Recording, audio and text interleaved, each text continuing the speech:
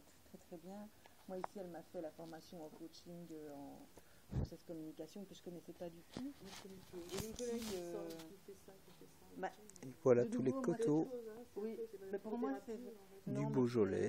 c'est- je l'ai testé Nous sommes au domaine canard. et euh, je l'ai testé Et pendant que euh, mon épouse parle psychologie, avec la propriétaire, euh, qui elle-même est psychologue, eh bien, nous voici.